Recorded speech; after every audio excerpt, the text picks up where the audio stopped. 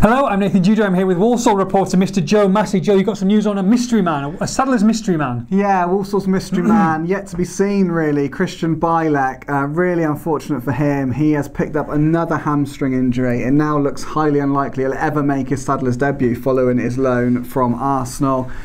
What a year, what what a season! What nine months this lad has had. It has been horrific for him. Really, he picked up a shoulder injury while at Arsenal at the Mm-hmm. start of the campaign. Couldn't train.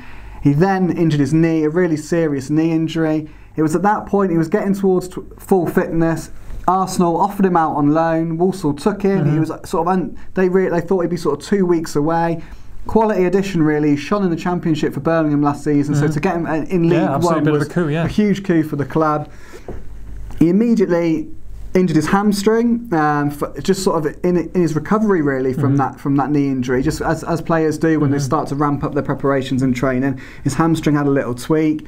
Then this week we've actually had comments from him. We've heard from him talking about how much he's looking forward to playing a major part for the Saddlers in these final eight games of the season. Yeah. And then lo and behold, the very next day he's redone his hamstring. Um, really is awful for the lad. Um, he's only 20 years old, a player of huge potential. It's awful for Walsall because he is a talent and he would given them real sort of.